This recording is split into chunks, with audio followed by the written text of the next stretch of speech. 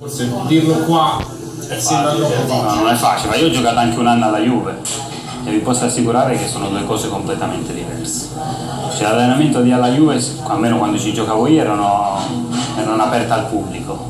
C'erano quei 10-15 diciamo, persone un po' datate che venivano a vedere l'allenamento. Se facessero gli allenamenti aperti a Trigoria ci sarebbe il Maracanogni. Esatto. Non arriveremo mai al lavoro, sicuramente. Bravo, Quindi sicuramente. questo testimonia proprio l'amore eh, diverso che c'è tra i tifosi della Roma verso la squadra e un'altra, un'altra tifoseria, nel mio caso quelli della Juve.